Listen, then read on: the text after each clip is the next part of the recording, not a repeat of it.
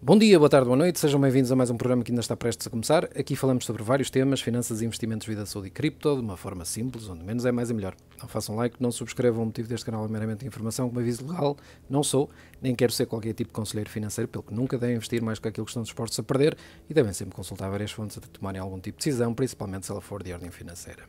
Vamos tentar fazer isto tudo num take e só num take em menos de 15 minutos, como eu gosto. Eh, vamos falar sobre saúde.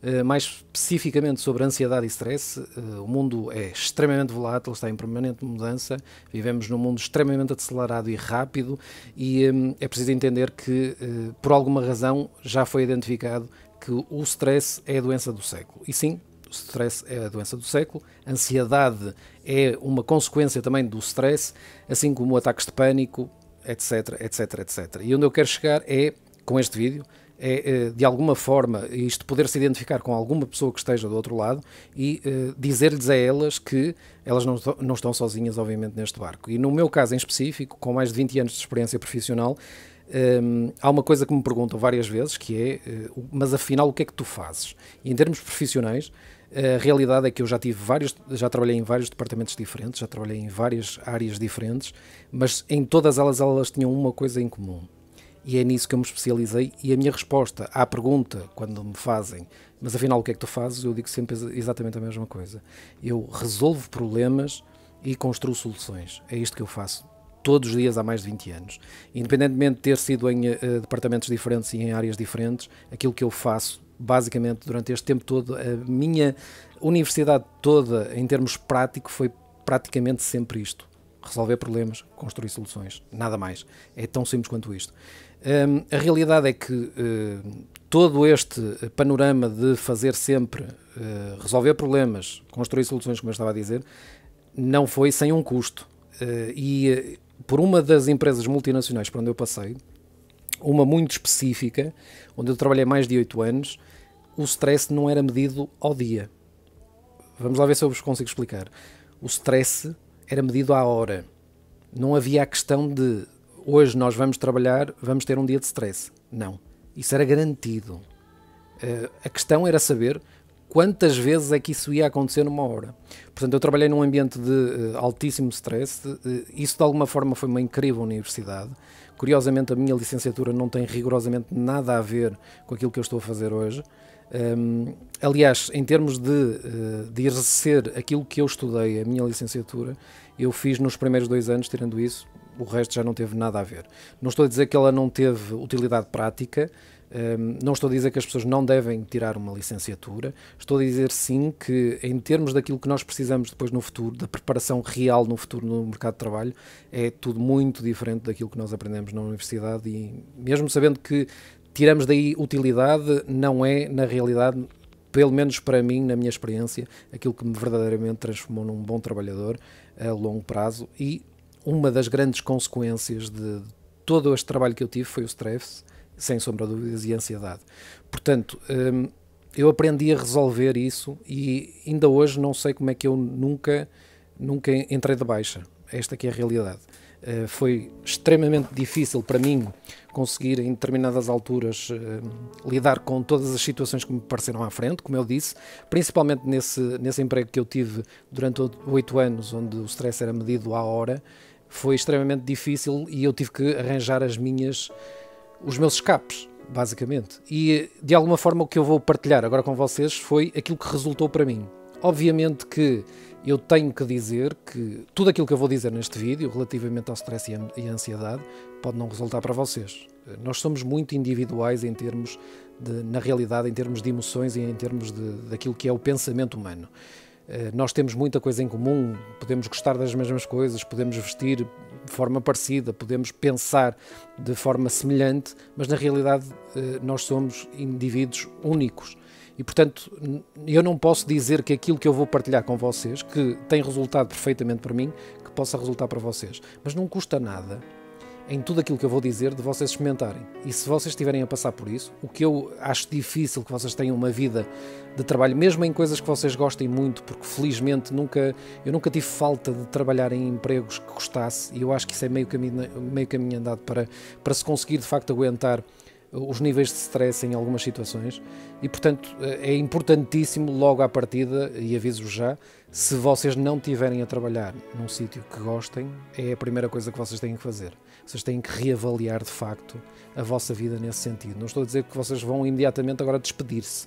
O que eu vos estou a dizer é que vocês têm que tomar a ação de mudar as vossas vidas para fazerem aquilo que gostam. Isso é importantíssimo. Eu acho que essa é a única razão pela qual eu não quebrei como a maior parte das pessoas pela qual eu nunca coloquei um, único dia de baixa, nunca fiquei verdadeiramente doente ao ponto de ter que faltar ao emprego em mais de 20 anos de trabalho.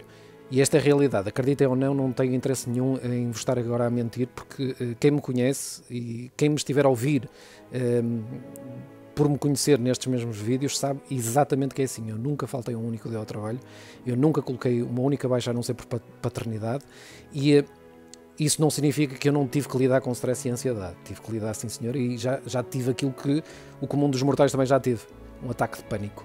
O que é, eh, na primeira vez que se tem, algo realmente muito assustador. Eu nunca pensei que fosse tão forte como, como aquilo que eu acabei por sentir. E engraçado que foi numa altura de autêntico relaxamento. E, pelo que eu pesquisei, pelos vistos, isso é mais normal do que anormal. Um ataque de pânico normalmente tem uma frequência muito alta quando nós estamos em relaxamento e não quando estamos a lidar com a situação de stress em si. E portanto, eu vou-vos. Uh, eu tinha uma lista, aliás, que eu ia partilhar com vocês. Eu não vou partilhar essa lista porque, ao fazer essa mesma lista, o que eu me apercebi foi que todas elas acabavam por, uh, por ir ter à mesma conclusão. Portanto, eu vou passar imediatamente à conclusão, depois vou falar sobre determinados pormenores dessa lista, mas eu acho que vocês vão entender onde é que eu quero chegar. Portanto, a realidade é que eu, ao fazer a lista, apercebi-me que os pontos onde eu estava a tocar de tudo aquilo que tem resultado comigo durante tantos anos são pontos onde eu acabo por uh, me colocar numa situação em que eu ativo os meus cinco sentidos. Portanto, a resposta, a conclusão, na realidade é isto. A forma de eu conseguir lidar muito bem com o stress e a ansiedade é de ativar os meus cinco sentidos. Portanto, se aquilo que eu vos vou dizer em termos daquilo que eu tinha preparado da minha lista não funcionar, especificamente aquilo que eu faço, pode ser que vocês consigam encontrar dentro de, desta conclusão geral, que é ativar os cinco sentidos, que vos possa ajudar no futuro. E espero bem que sim. Portanto, é importante uh, esclarecer que cinco sentidos é que eu estou a falar. Se há dúvidas, uh, olfato, audição, visão, sabor e uh, tocar, apalpar. Um, isto se calhar está a parecer um bocado uh, difícil de, de, explicar, mas a realidade, quando nós temos um ataque de pânico, nós temos de facto uma descarga muito grande de adrenalina.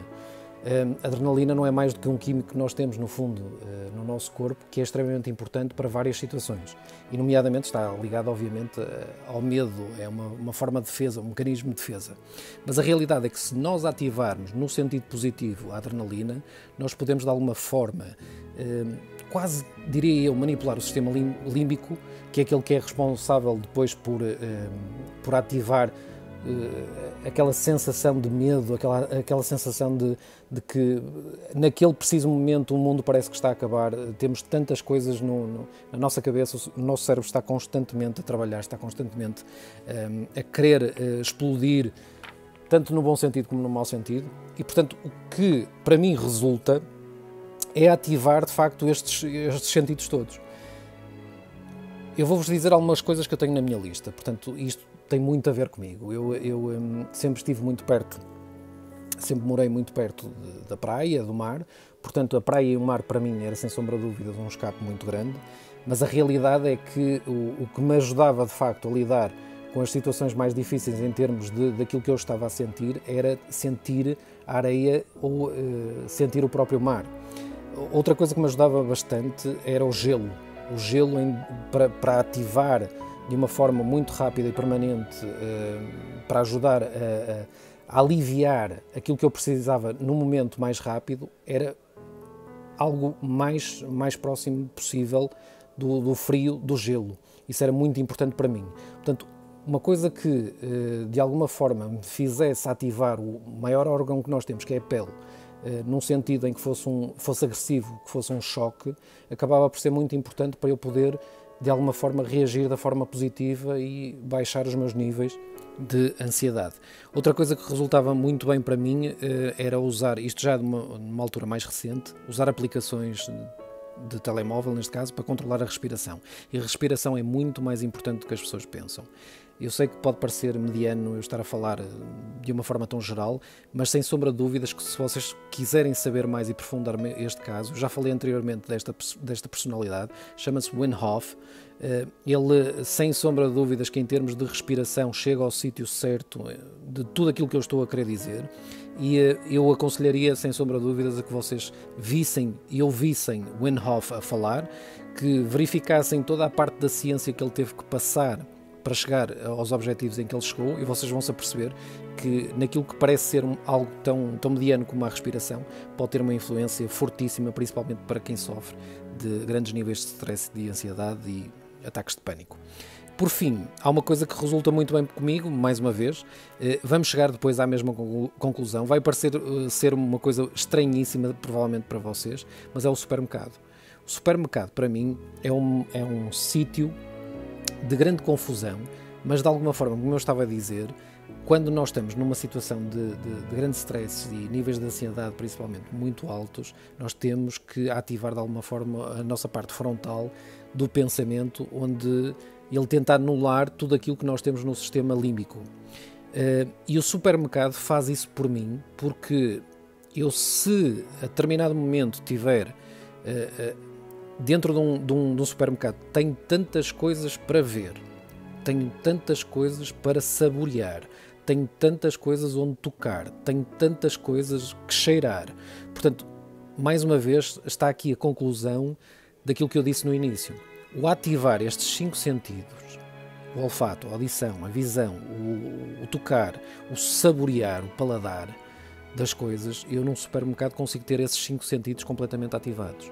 E é engraçado porque comigo de facto resulta, depois de um, de um dia eh, muito estressante, um dia com, com imensos níveis de, de emoções diferentes, eh, provavelmente a terminar em ansiedade, um supermercado, para mim, não estou a dizer que para vocês possa funcionar, mas para mim resulta às mil maravilhas. Para mim é, é, é quase como tomar um antidepressivo. Uh, e mais uma vez, não tem a ver com o ir ao, ao, supermercado para fazer uma compra específica de algo em concreto. Muitas vezes, para mim, resulta para ativar estes cinco, cinco sentidos e é uma forma também de evitar aquilo que eu acho que toda a gente deve evitar. Uh, antes de. E atenção, uh, ninguém deve fazer isto, obviamente, sem consultar o seu próprio médico antes de, de qualquer tipo de recomendação. Mas, por favor, tentem fazer todos os possíveis para que uh, vocês consigam lidar de uma forma natural com este problema. Ehm, eu não, não poderei enfatizar o máximo possível, obviamente que isto para determinadas pessoas não dá, não é possível, mas experimentem o ginásio, exercitar, experimentem uh, aumentar a vossa vida sexual, experimentem uh, tudo que, que tiver ao vosso alcance para vocês não entrarem num esquema de uh, tomarem medicação para, para resolver este problema.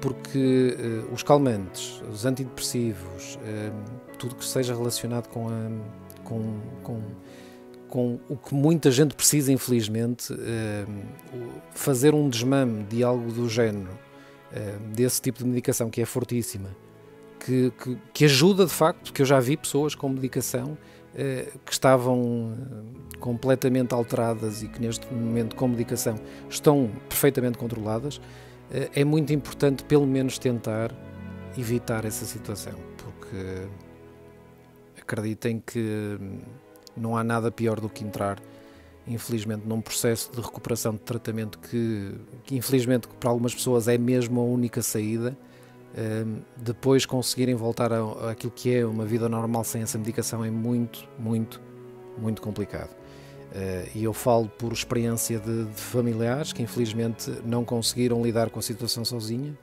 e, e infelizmente entraram num, num esquema de medicação e isso deve ser a vossa última alternativa, sem sombra de dúvidas.